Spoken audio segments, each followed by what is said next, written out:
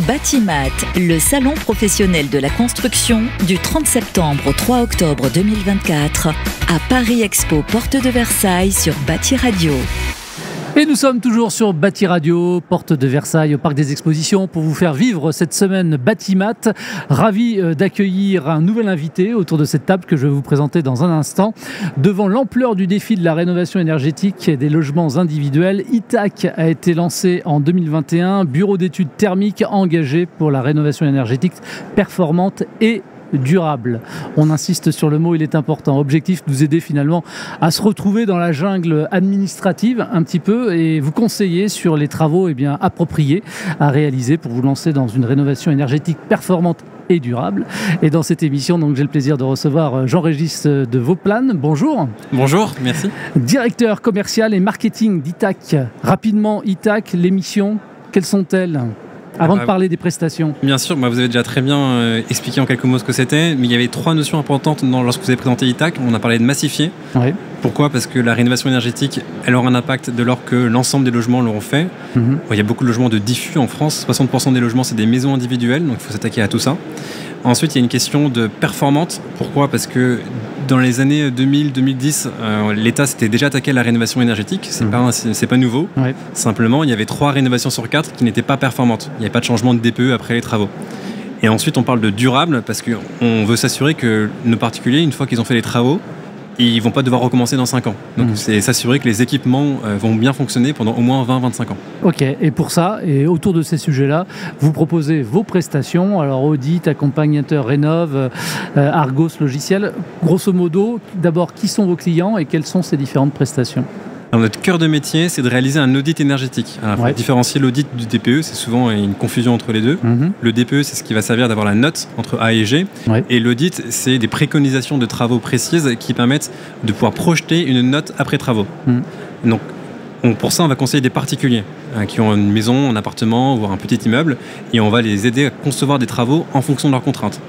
Contraintes de budget, contraintes d'architecture, contraintes de temps, n'importe. Sur la base de ce métier-là, on a découvert qu'il y avait différentes euh, autres problématiques, notamment des problématiques de logiciels pour pouvoir réaliser ces préconisations.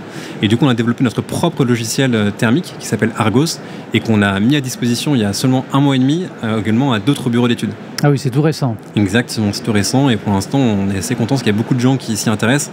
Sur le marché, il existe une dizaine de logiciels qui sont certifiés par l'ADEME pour pouvoir faire des audits énergétiques ou des DPE. Donc Argos est l'un de ces, de ces logiciels et c'est ce qui fait qu'aujourd'hui, il y a pas mal de gens qui nous contactent parce que la plupart des logiciels là depuis 15-20 euh, ans sans avoir eu beaucoup de renouvellement.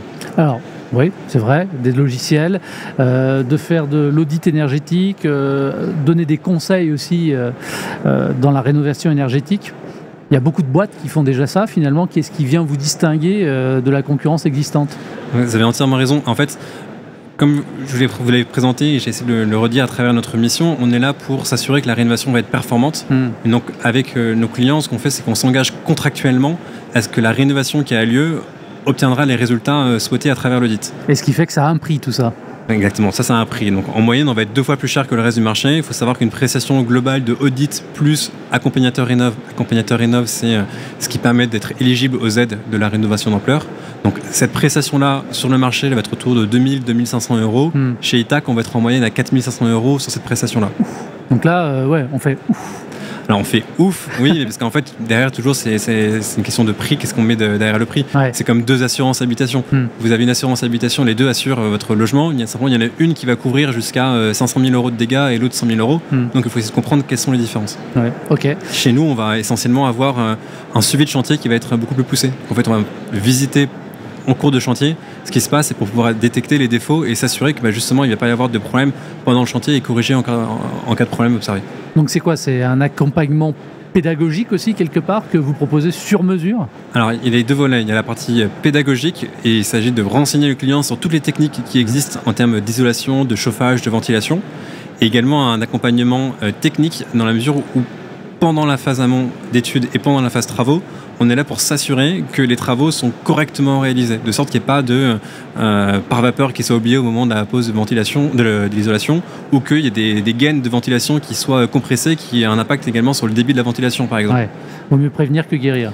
Exactement. C'est dommage de faire des travaux à 40 000 euros pour qu'ils ne fonctionnent pas ensuite. C'est sûr, ça fait mal par où ça passe.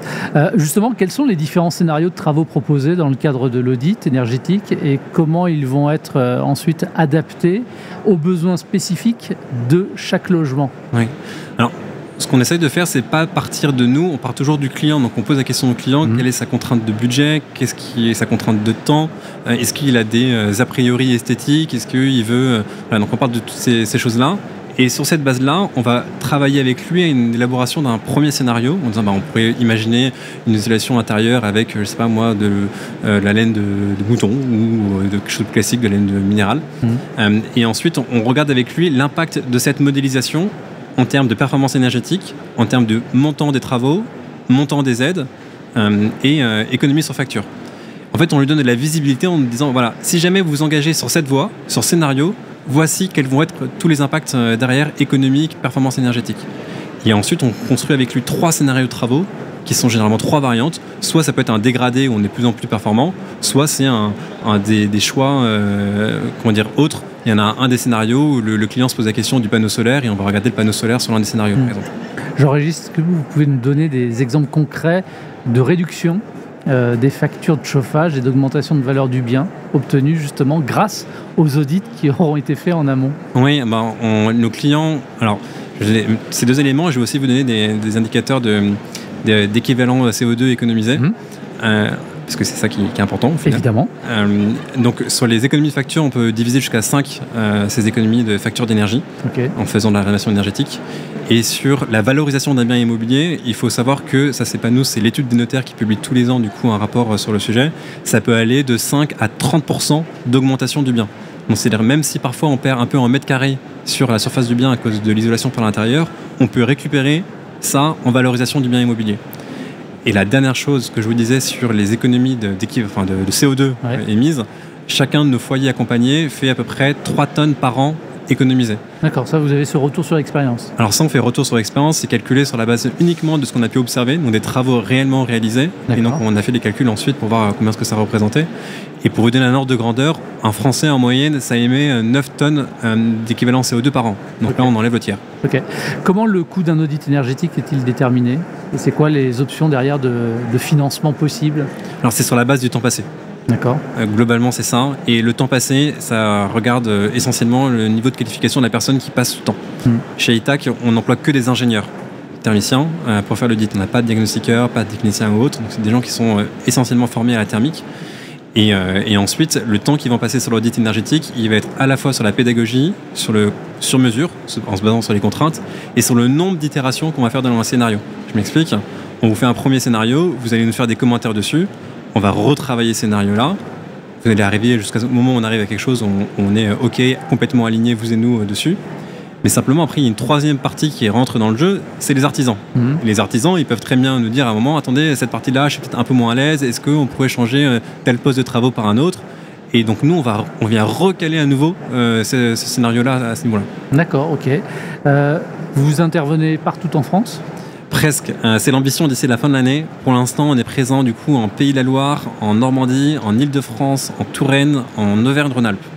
Ok, ça fait combien de collaborateurs tout ça? On est à 50 personnes euh, et, on grandit euh, pas mal, on fait x2 tous les ans.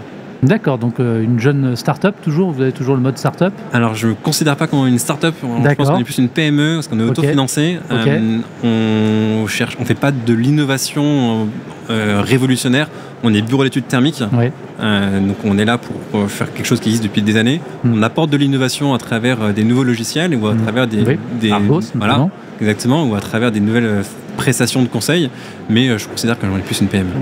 Le logiciel Argos, d'ailleurs, pour euh, finir un petit peu là-dessus, euh, vous le disiez, était donc à destination des professionnels directement, en marque blanche. pour autant, il est aussi disponible sur votre site internet, on peut s'en servir. Oui, alors en fait, en fait, on a deux logiciels. On a Argos, qui est un logiciel de dite énergétique euh, qui est euh, disponible du coup euh, en mode presque SaaS pour la part d'autres bureaux d'études. Et après, on a un autre logiciel qu'on a appelé Circe. Tout ça, c'est lié à l'Odyssée, vous allez comprendre la différence. et donc, le Circe, c'est un, un, un, espèce de pré-audit où le particulier peut simuler son DPE et mhm. avoir des premières recommandations de travaux euh, sur, euh, par rapport à son logement et euh, par rapport à un budget. Et ça, on peut s'en servir de votre site de, votre, de notre site directement directement, la personne peut y aller, c'est complètement gratuit et c'est pour pouvoir avoir des, premiers ordres de grandeur. C'est quoi la stratégie d'ITAC pour, pour continuer à se développer finalement? Bah, Quand je vous l'ai dit, qu'on arrive à mailler toute la France. C'est notre gros objectif des prochains mois. Euh, et, ensuite, euh, la commercialisation de Argos qu'on a commencé euh, il y a un mois et demi, ben, on espère pouvoir couvrir un maximum de bureaux d'études sur le sujet. Mmh. typiquement, même si la réponse peut paraître évidente, je vais quand même vous poser la question. Pourquoi c'est important pour ITAC d'être présent sur ce type d'événement Batimat? Alors, parce qu'on peut échanger déjà avec un certain nombre de nos partenaires ici, mmh. ou des concurrents aussi. c'est toujours intéressant d'échanger avec des concurrents. Euh, et, ensuite, parce qu'on nous, on, a, on, permet de gagner en visibilité sur Argos, euh, qu'on vient tout juste de se lancer. Il y a beaucoup de gens qui sont venus nous voir euh, sur le sujet. Et le dernier point, c'est qu'on fait aussi de la formation auprès des professionnels de la rénovation énergétique. Pour justement essayer de les aider et les accompagner vers, par exemple, des nouveaux matériaux qu'ils ne connaîtraient pas et sur lesquels ils auraient des préjugés.